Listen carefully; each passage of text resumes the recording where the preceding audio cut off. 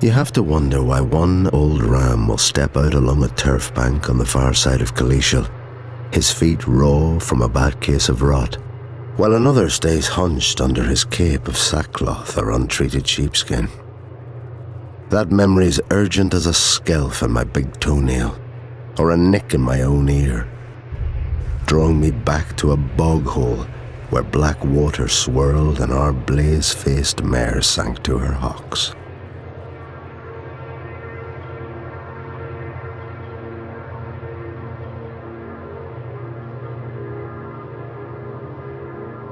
For even as I grasped a camouflage net hanging over the dressing station in Clairfaye Farm, I thought of the halt and lame who later today must be carried along a trench named Royal Avenue, who'll find themselves entrenched no less physically than politically.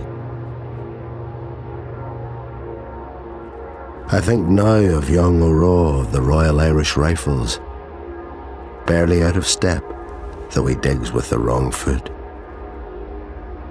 I see him on Hodge's farm of a winter morning, the sun hinting like a tin of bullied beef from a high shelf in the officers' quarters. A servant boy tugging at the hay rick for an armful of fodder. At least we'll be spared the backbreaking work of late August in a flax dam, the stink unfurled like a banner across the moor, where great coated bodies ret. I think of Giselle, her flaxen hair in a net, who served me last week in a village cafe, teaching me the game of the goose even as she plucked a gander's cape.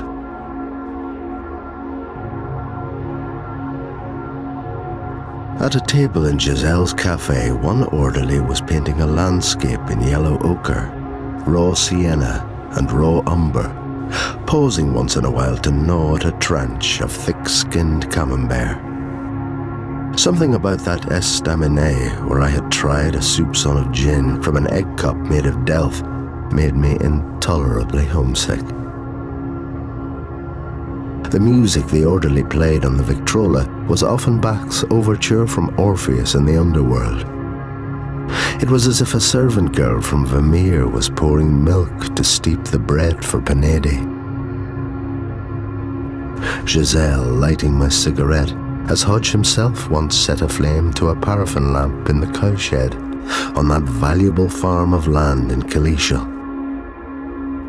Later this morning, I'll shoulder my firearm and fall in as a raw recruit with the veterans who followed the Boers from the Cape of Good Hope to the Orange Free State like rats following the Pied Piper of Hamelin in search of gold and pelf that officer from the rifles carried a blackthorn stick. The wound in his back brought to mind a puppy of all things.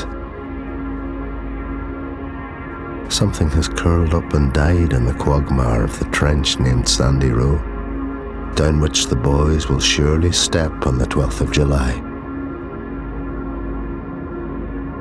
It's a shame it was only last week I met Giselle and fell into her amorous net.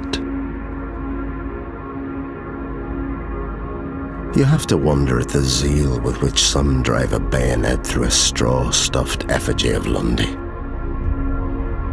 It'll be no distance to Clairfaye Farm from Thiepval Wood. It'll be one step forward into no man's land between the Ghibelline and Guelphs, with their little bags of tricks, ich, ich, one step forward, two steps back towards the Schwaben redoubt.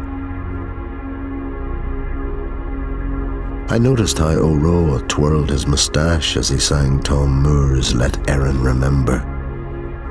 Commanding officers in sheepskin capes are under orders not to leave the trench and go over the top. It's the duty of the rest of us to seek fame and fortune.